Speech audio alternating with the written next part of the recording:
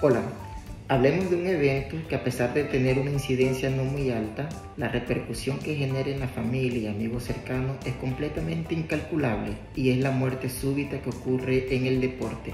Esta es aquella que, que, acontece de forma inesperada durante la práctica deportiva o una hora después de finalizarla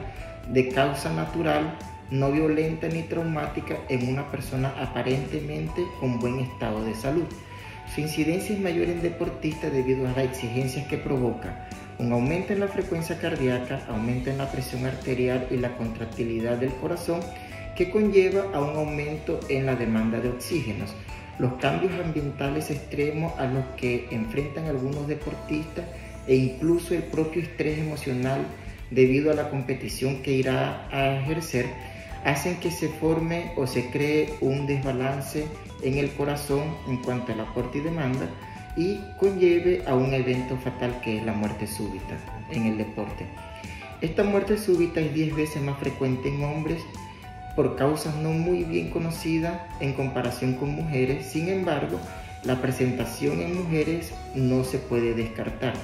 La causa de muerte súbita son dependientes de la edad. En aquellos que son menores de 35 años, las causas suelen ser más estructurales por cardiopatías congénitas, cardiopatías familiares o cardiopatías que son hereditarias. Sin embargo, en los mayores de 35 años, lo más frecuente es que sea una cardiopatía isquémica debido a que hay una o más arterias en el corazón que se obstruye y forme un infarto. En los últimos años también hemos presenciado algunos eventos potencialmente mortales, aunque no todos acaben en desgracias, en aquellos deportistas que son completamente sanos, pero que se está produciendo, como se dice, una imprudencia deportiva. Con esto nos referimos a aquellos sujetos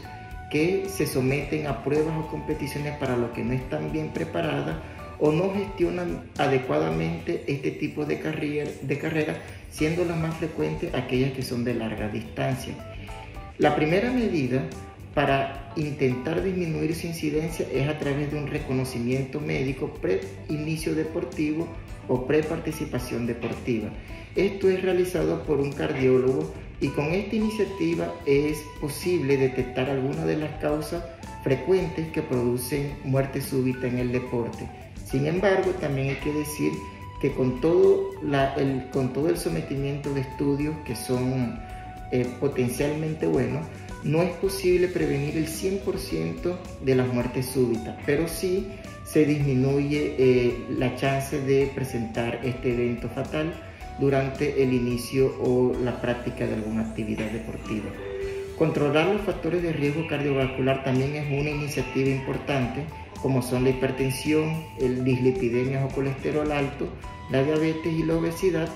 al fin de que son estos factores los que aumentan la probabilidad de tener una cardiopatía isquémica. Evidentemente hay otras medidas que también son lógicas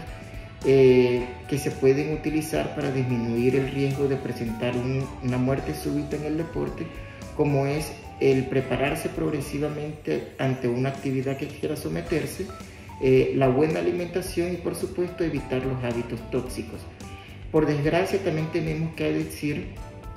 de una última medida que es el estudio de una persona fallecida. Si en la familia aconteció una muerte natural de, forma inesperada, súbita,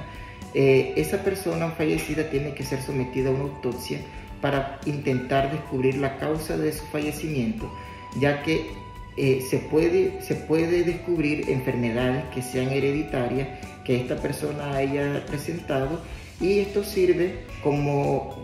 para disminuir el riesgo de que su propia familia, sobre todo aquellas de primer grado, también cuenten con el mismo proceso de presentar una muerte súbita.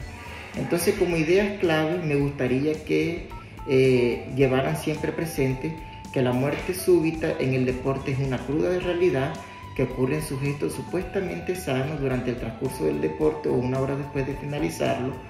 que a pesar de su aparición en el deporte jamás debe ser una excusa para no realizar actividad física ya que está demostrado científicamente que es esta, el, practicar deporte es la medida más eficaz para mantener un buen control de los factores de riesgo y también disminuir, valga la redundancia, el riesgo cardiovascular. Las medidas para disminuir su incidencia son reconocimientos médicos pre-inicio de actividad física, conocer, conocer la historia médica familiar, controlar los factores de riesgo y sobre todo, que es muy importante, escoger un buen centro de entrenamiento o un buen gimnasio que tenga profesionales disponibles con cursos de reanimación cardíaca y también que tengan presencia de desfibriladores cardíacos, ya que el mundo está evolucionando a que cada vez, a que todos los eh, establecimientos públicos cuenten siempre con desfibriladores y personal capacitado en reanimación básica, porque son estas medidas lo que disminuye el riesgo de un evento fatal. Muchas gracias.